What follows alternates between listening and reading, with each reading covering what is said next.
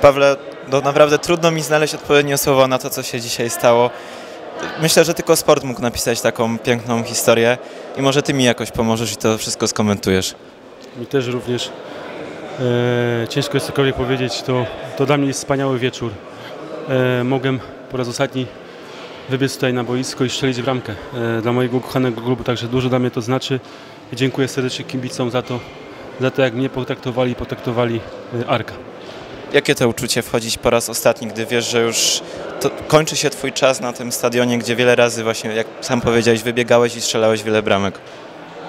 No było trudno, powiem szczerze, było tak trudno jak na konferencji prasowej. Eee, byłem bliski płaczu, natomiast e, wiedziałem, że muszę w tym momencie pomóc, pomóc drużynie, a nie e, rozszulać się. Nie mogłem wziąć emocji górą, także, także cieszę się, że mogłem w tym momencie pomóc drużynie i nadal jesteśmy w grze o cel, jaki, jaki sobie postawiliśmy przed, przed sezonem, czyli puchary. No właśnie, to jest niesamowite, że tym, tą bramką w ostatnich sekundach dałeś też, e, przedłużyłeś szansę na europejskie puchary. E, a to nie było wcale łatwe spotkanie, bo Lech cofnął się po strzelonej bramce i tylko czyhał na kontry.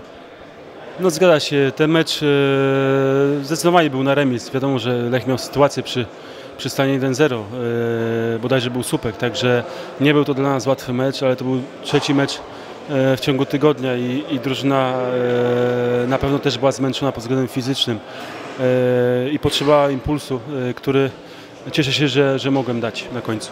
Strzeliłeś blisko 140 bramek. E, powiedz, czy potrafiłbyś w ogóle wskazać taką najpiękniejszą, nie wiem, bramkę, która da Ci najwięcej radości?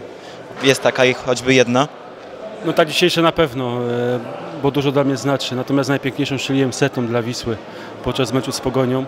Także tych bramek e, było dużo, natomiast e, nie za dużo ładnych, bo raczej, raczej wykańczałem akcję. Natomiast te zapamiętam bramki, które wcześniej wspomniałem. Co teraz w takim razie? Jaka przyszłość? Wiem, że nie zamierzasz jeszcze kończyć z piłką, ale jakie będą te najbliższe tygodnie? Wakacje? E, tak, na pewno e, będziemy odpoczywać. E, wybieramy się większą grupą na wakacje, także będzie co powspominać i odpocznę, a później zobaczę. Jeśli pojawi się jakaś fajna, konkretna propozycja, to ją rozważę. Jeśli nie, to zakończę karierę jak Arek. Pawle, bardzo Ci dziękuję, bo każdy wywiad z Tobą to była dla mnie ogromna przyjemność. Dziękuję serdecznie.